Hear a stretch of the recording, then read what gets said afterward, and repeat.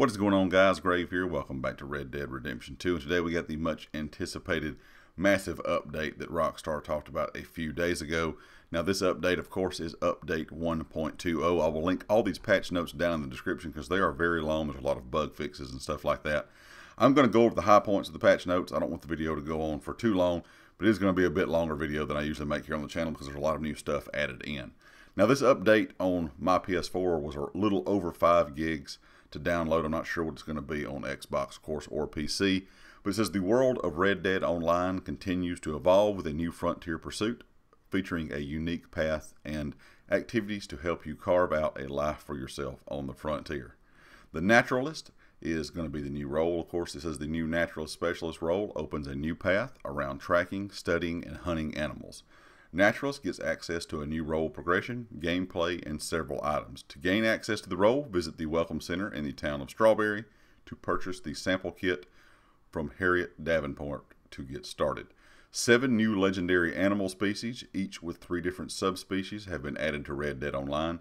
Some subspecies can be found in the open world by purchasing maps from Harriet Davenport, while sightings of some rare subspecies may become available uh, from Harriet as you progress through the role itself.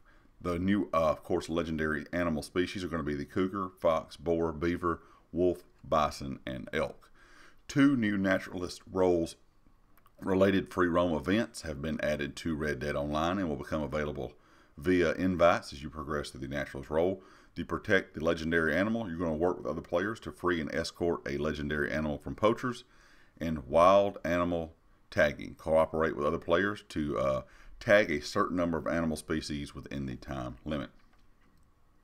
Both Dav uh, Harriet Davenport and Gus Macmillan have set up uh, stores in several locations across the world of Red Dead Online.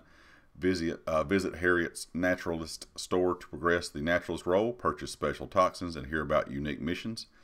Uh, alternatively, drop by Gus's store with animal provisions to craft new clothing items, trinkets, and more. There are new missions to rescue animals from poachers have been added.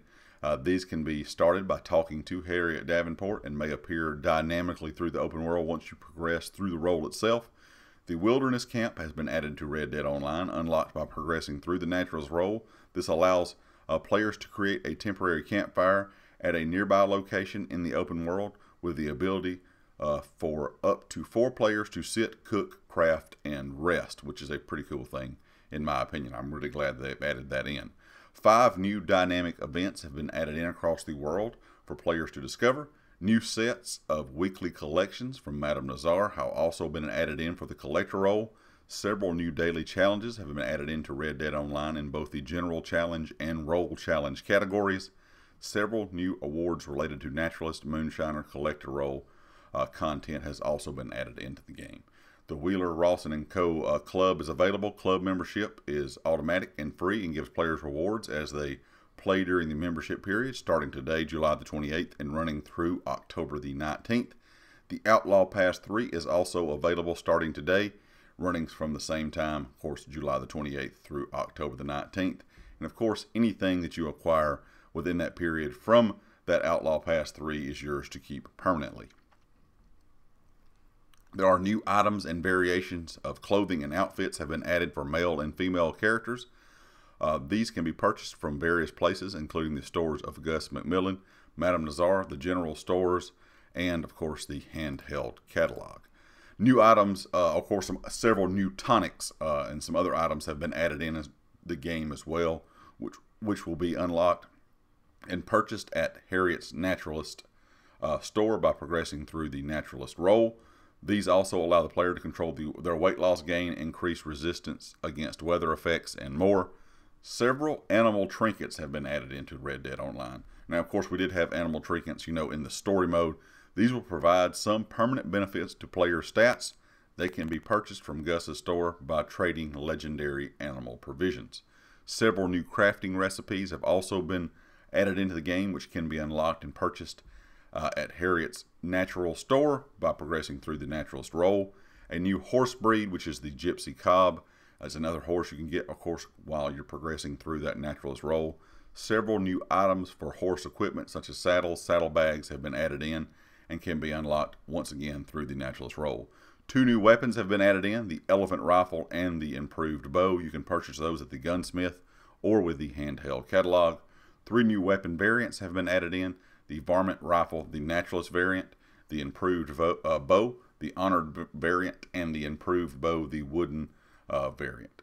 Also, several new weapon modifications, uh, components like grip stocks, uh, style like metal material, you know, like a tempered steel, engraving material, and wrap material have also been added in as well. The advanced camera has been added to Red Dead Online, purchasable from the general store or the handheld catalog, as well as improved maneuverability and the ability to use filters. It can be used to identify animals in the animal field guide. Additional filters can be unlocked through the Outlaw Pass rewards.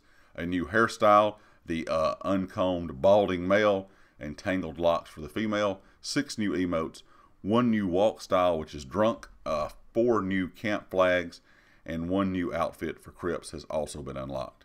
Uh, a new breed of camp dog has also been added in. Once unlocked, these can be purchased, of course, from the Wilderness Outfitter itself. Uh, when it comes to uh, studio backdrops, there's three studio backdrops that have been added into Red Dead Online and can be unlocked through the Outlaw Pass rewards. Four new studio, uh, studio poses have also been added in.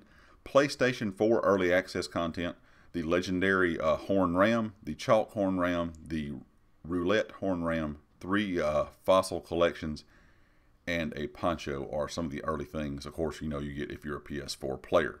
Balancing and improvement changes, they adjusted the colors and transparency of some things on the radar and the minimap. Holding the circle button to exit the pause menu for any screen is now quicker, making the speed of the catalog and shop menus a lot faster. Uh, buy max and buy max carried options have been added into the game. Improvements have been made to the wardrobe system, uh, which will allow more combinations and removal of you know things, including the ability for female characters to remove shirts while wearing corsets. Players can now mercy kill an animal that is bleeding out.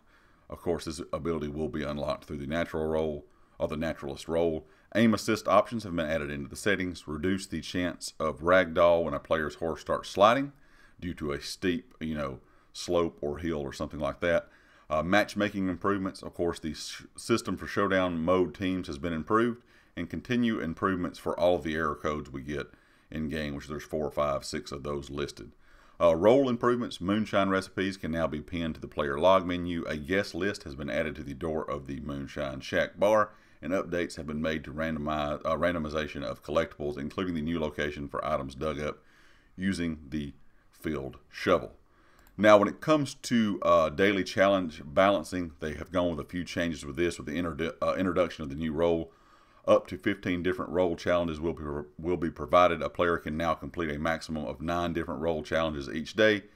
The existing challenge of the goal for seven daily challenges completed has been replaced by two separate challenge goals, and the streak system remains unchanged. Uh, of course, when it comes to economy balancing, free weapon uh, component vouchers can no longer be used to purchase variant skins for weapons at the gunsmith. And alligators now provide two types of provisions when skinned, depending on the size of the animal and the sale of the different amounts to the butcher. Uh, also, some online fixes for matchmaking and networking. Role content, there's a lot of fixes here that uh, were just a lot of issues. Like I said, there was tons of bug fixes in kind of the end of this if you guys want to read over all these bug fixes, like I said, they're all listed down in the description below. But it was just a lot of issues in the game where you know missions weren't working correctly, XP was not working correctly, uh, uh, duplicated of player characters to appear. Of course, that was a problem.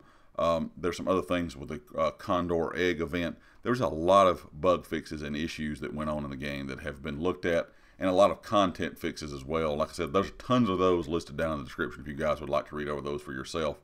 Um, also, some fixes just for some bugs in the story mode as well, and kind of game menus and interface. But anyway, guys, leave me a comment what you, and let me know what you think about this update. And of course, if you liked the video, hit the like. If you have not subscribed yet, please do so. If you are a subscriber, make sure you click the bell icon in the top right corner so you know when all my videos go live.